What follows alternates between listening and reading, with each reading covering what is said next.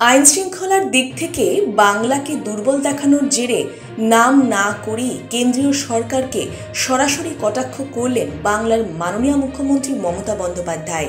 তিনি কেন্দ্রীয় সরকারের এই আক্রমণের প্রত্যুত্তরে জানান, যে রাজ্যের আইন শৃঙ্খলা নিয়ে এত প্রশ্ন, তারা বাংলাকে কীভাবে কটাক্ষ করে?